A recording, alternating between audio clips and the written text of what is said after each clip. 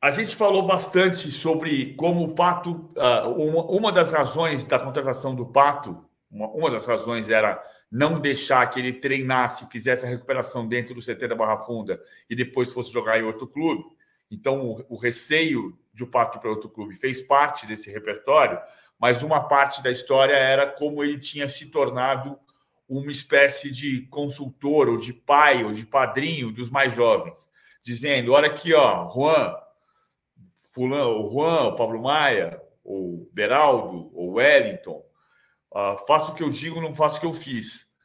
Ou seja, eu, eu desperdicei muito tempo e energia da minha carreira, eu podia ter feito, feito muito mais coisas se eu tivesse me concentrado na carreira, em vez de, me, de se concentrar nos, nos prazeres que a vida oferece. E, e ele passou a ser esse cara que grande padrinho. E é isso que explica muito a, a, a, alegria que se viu na hora que o Pato fez o gol. É claro que o gol do 4 a 0 naquele momento, depois virou 4 a 1 o gol do Marcos Leonardo, mas a, a maneira como os jogadores correram para esfuziantemente abraçar o Pato é o reflexo do que está acontecendo no vestiário.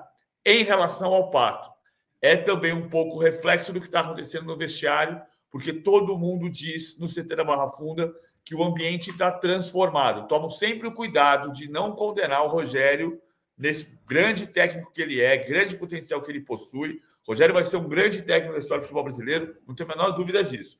Mas o ambiente ficou mais leve.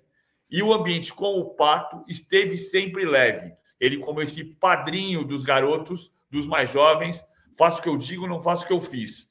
Na hora que ele entra e faz o gol, ele, ele provoca essa explosão de alegria dos garotos. O Pato, artilheiro das estreias, ele não estreou no São Paulo ontem, estreou em Bragança Paulista, mas ele reestreou no Morumbi.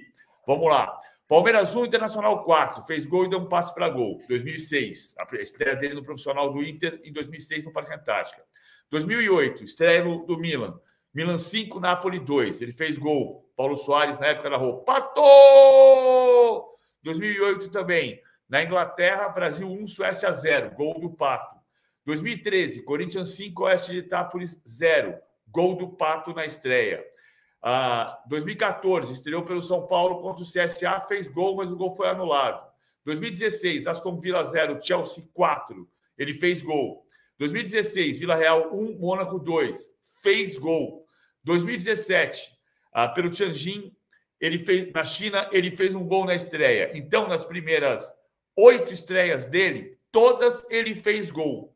Em uma delas, o gol foi anulado pelo São Paulo. São Paulo e Botafogo 2019, quando retornou, São Paulo 2, Botafogo 0, não fez gol. E Orlando City 2, New York City 3, pelo Orlando City, ele fez gol. Então ele fez gol em todas as estreias, menos nas três estreias do São Paulo. Nas três estreias do São Paulo, ele fez um gol anulado contra o CSA e fez um gol na, na reestreia do Morumbi, mas não na reestreia do São Paulo. Então, todas as estreias ele fez gol, menos